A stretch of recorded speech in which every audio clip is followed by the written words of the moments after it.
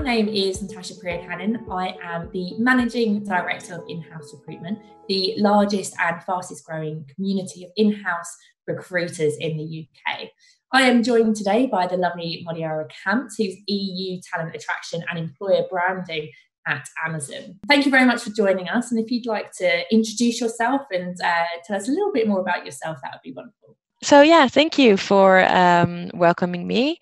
Um, as you said, I'm looking after employer branding and talent attraction marketing at Amazon, um, where I'm I'm responsible for the consumer org with a focus on tech.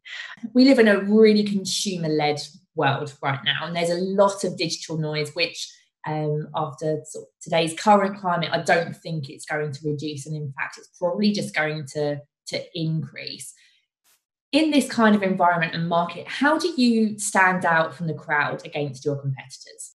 First of all, it's it's really important to realize that people will will remember your brand based on how you treat your employees today um, and every communication um, that is that goes out externally around that so um, overall you can distinguish yourself by being candidate driven um, really thinking about what is the candidate expecting to see right now. And for example in times of crisis um, the nuances of the brand voice um, are more delicate than ever. So you know you see all these different initiatives and brands that use this time to be commercially um, exploitative um, i would i would say that they will not fare um, well um, because people they feel vulnerable right right now and I, I, think that showing empathy is critical in that. Um, in general i would say the goal that i have from an employer brand perspective is that i would like to get people to spend time with my brand. Um, and i think that that's also why um, many companies spend time to create original content right now. Um, so sharing real and relevant content um, makes people want to spend time with your brand, right? Because engagement is kind of the combination between time and attention. And I, you know, I'm I'm, fully aware that this is easy said than done.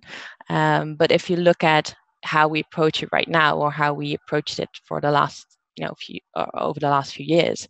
It's kind of connected with how we collect uh, that we collect data and we do research to find out you know what the future talents are interested in or what our current you know um, employees are interested in. And uh, one of the examples is that we um, you know, we found out that people want to know more about the working environment. So everybody started filming the offices, and you have bean bags and ping pong tables, and and you know, everybody has an amazing office space all of a sudden, which is great. But this is not really how you can, you know, stand out um, from the crowd. So, you know, at the end of the day, if you ask me, when it comes to how do you get that real content in it is about capturing the emotion behind the answers. So you know data is really rational and if you dig deeper um, and you start asking different questions then you are able to get that real emotion. So if you ask a person what do you like about your job? then you get this kind of almost perfect polished answers like yeah i like the flexibility of my job or i have challenges in my job. But if i ask you um, what why do you love your spouse?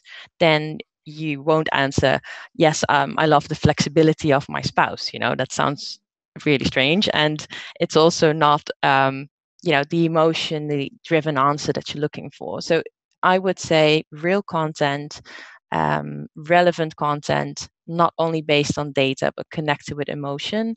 Um, and that would be how i you know would say that you can um, stand out from the crowd